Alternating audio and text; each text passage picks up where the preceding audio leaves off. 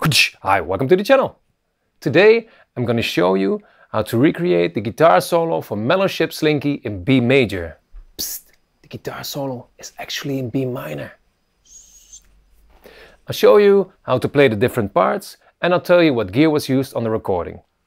Let's hear it, bro!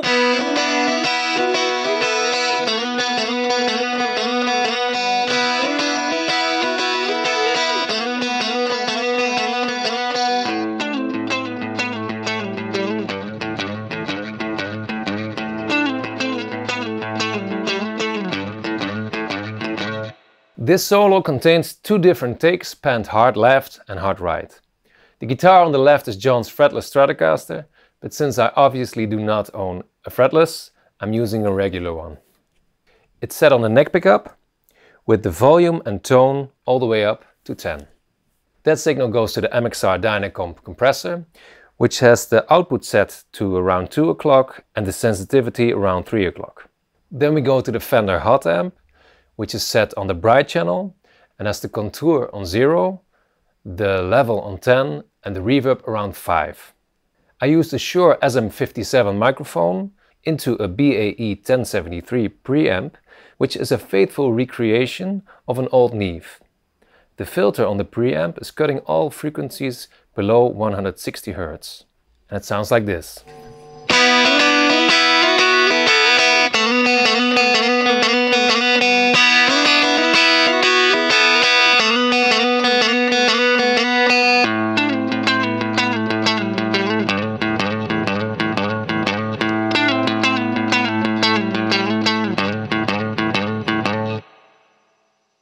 The second guitar, which is panned to the right, uses almost the same signal chain, except the pickup selector is on the fourth position, which is the neck pickup combined with the middle pickup. John also engaged the DoD FX65 stereo chorus, which has the speed around 12 o'clock, the delay time between 2 and 3 o'clock, and the depth also between 2 and 3 o'clock. Sounds like this.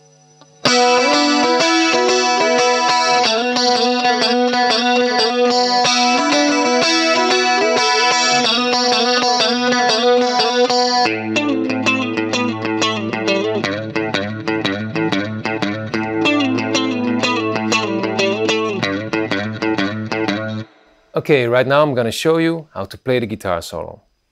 The first part is in B minor and has the open B and open E string ringing throughout.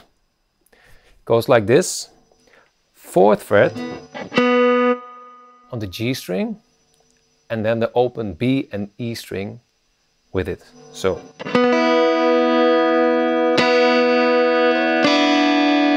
Then you go to the seventh fret, so fourth fret, seventh fret, to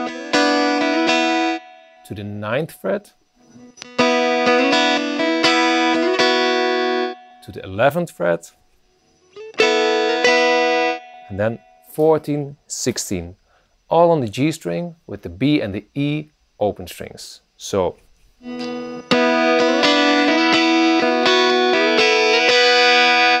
And with the right hand you strum this pattern and goes like this.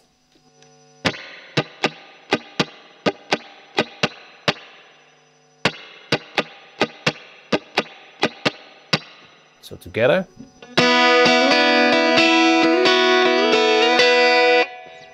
Then there's a slide from the second fret to the fourth fret on the G string. Followed with an open B string. So you have a slide, second fret to the fourth fret, and then the open B, like this.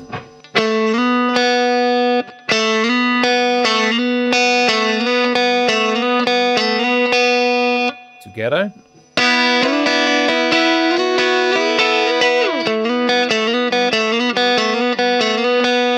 And then it modulates to A minor and you have this part. You start with an open A string and then a slide from 12 to 10 on the D string. So followed by an open A string again, a slide from 10 to 9,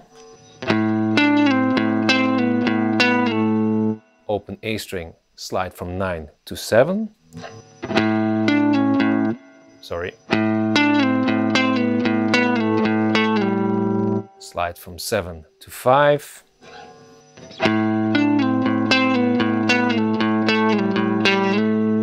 And then back up from 5 to 7. So in between each slide there's an open A string.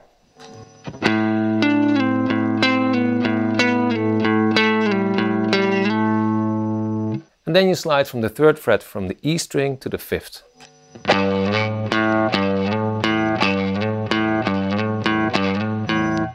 Followed by an open A string.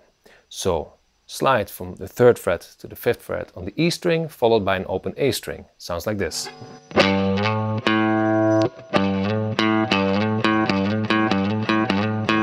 So all together.